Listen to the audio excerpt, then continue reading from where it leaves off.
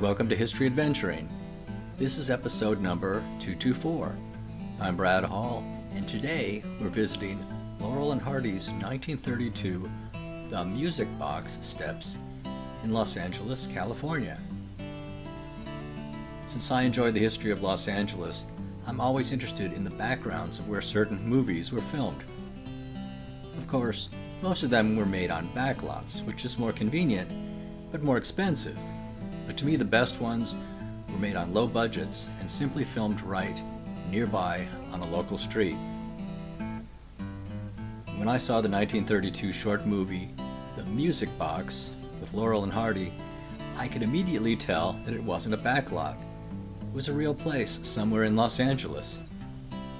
So I jumped onto the internet and found the exact address, which is at 923 North Vendome Street, which is in Silver Lake. And don't worry, I'm not giving out private information here. Although it's a private residence, the steps are public, and always have been. Of course, in the story, the steps lead up to a house that Laurel and Hardy are delivering a piano to. It's a funny premise, having to haul a piano, a music box, up those stairs, and if you like Laurel and Hardy stuff, it's one of their best. I've watched it more times than I can count. The steps connect the streets for pedestrians. Then, as now, you could just walk up and down the steps instead of walking the whole distance around on the street. Of course, now most people just drive, so it's not important now. In 1932, enough people walked that you had to accommodate them. LA hadn't really turned into a city just for cars quite yet by then.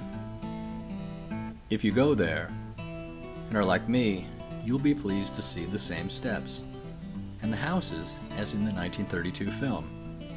This was just an ordinary neighborhood when The Music Box was filmed, and it's still the same way. It's not a glamorous Beverly Hills area, it's just a place where people live. And it's good to keep that in mind when you visit.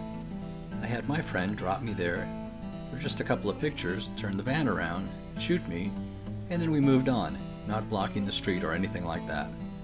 If I lived there, that's what I would want people to do, not just turn on their emergency flashers and block my garage. I suppose I'd have to accept that I was living somewhere that was famous enough to have a plaque set in concrete, but I'd appreciate courtesy from the visitors.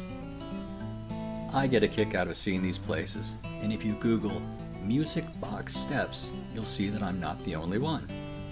This has been History Adventuring. I'll talk to you later.